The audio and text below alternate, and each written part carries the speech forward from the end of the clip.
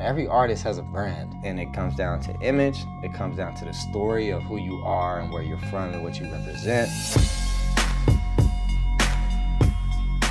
People love that as much as they love the music because it's a part of the experience. Life's crazy.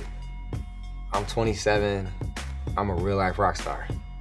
I drive a Porsche, I put moms in a new whip, a new house. I'm here with the people I grew up with, you know, about to play the Oracle Arena. Rock and roll is the risk of ridicule. You're on display. They wait for you to fuck up so they can say, I knew it was gonna happen, da da da da. You know, so that's in the back of my mind. Don't fuck this up. The only way you don't fuck it up is by working. And I was 13 when I started making beats. And at that time, like, music was was everything around me. The hyphy movement was bubbling. Keak, Mr. Fab, Son of a Pimp, E-40, Turf Talk. There's been a long history of independent rap music from the Bay. It's always been, we're just gonna outwork everybody and get it ourselves. I figured out how to make a mixtape cover. Bought jewel cases, burned CDs, put the sticker on the CD, and would slang them. That's very entrepreneurial. You know what I'm saying? No 15 year old kid is doing that kind of shit. We was first making stuff, you know what I'm saying, putting stuff on MySpace, and you would refresh the page and it'd be like 12 plays. you know what I'm saying? Like you'll literally like check it, like be hella excited, like man, like I'm gonna see if they fucking with me. Refresh, 13 plays. I didn't have no booking agent. So it was just me emailing these venues. Sometimes I pretend like I wasn't me. Hi, I represent an artist named G-Eazy.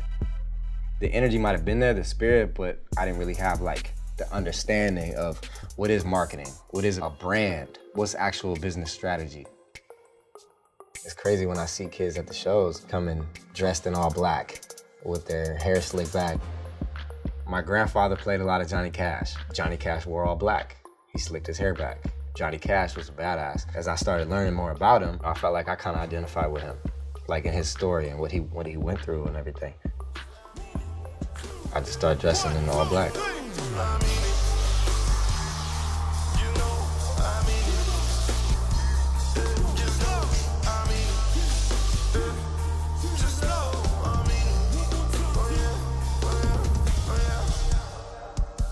I'm not the easiest person to understand, maybe because of like my background and where I come from, and you kind of have to understand that to understand how I could grow up on Mac Dre and the Beatles, you know what I'm saying, and have a mom's like mine, artsy hippie lady who smokes hella weed and you know dated a woman while I was growing up, and my outside world was Pac, was was E-40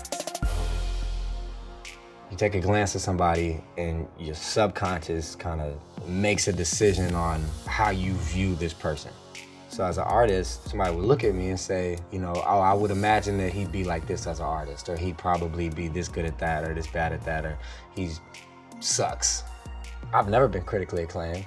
I've never been nominated for no Grammy. I've never been on no magazine cover. You know what I'm saying? It's almost taboo to say I'm actually good. What I put more weight on is not being critically acclaimed, it's being respected by my OGs. When I talk to E-40 on the phone, if he tells me I'm doing good, I'm doing good. You know what I'm saying? Like that means so much more to me than what, what a, a writer in any kind of magazine or like blog would say about me.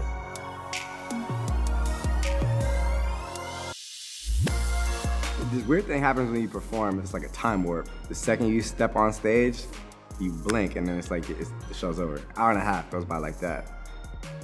I played over 200 shows this year. A lot of people counting on me.